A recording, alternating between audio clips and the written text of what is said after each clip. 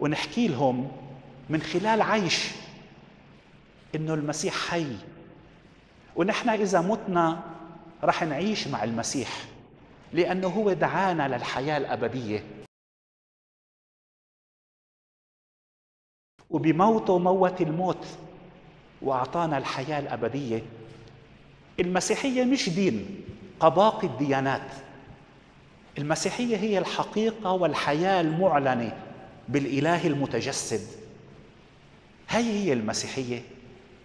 وعشان هيك كل الديانات حاولت انها تجابه حاجز الموت تخترقه وتوصل للخلود. ولكن ما قدرت أي ديانة على كوكبنا.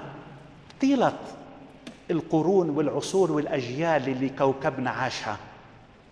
لحد ما اجى المسيح. وما أعطى ديانة مسيحية. كشف الحقيقة من السماء. الإله نفسه تجسد. وعلمنا كشف إلنا. وبموته موت الموت. وأعطانا حياة أبدية. وعلمنا الطريق. فرجانا الطريق. حكى لنا بهاي الطريق رح تمشوا.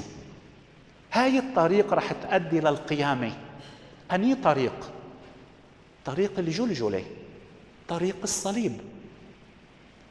الطريق الضيق اللي حكى عنها الإنجيل مش الطريق الواسع. كثير مهم هذا كمان ندركه إنه الطريق الضيق تقود لملكوت السماوات.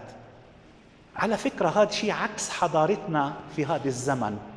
نحن حضارتنا بدها تريح الإنسان قد ما يمكن أكثر. ما بدها تتعبه.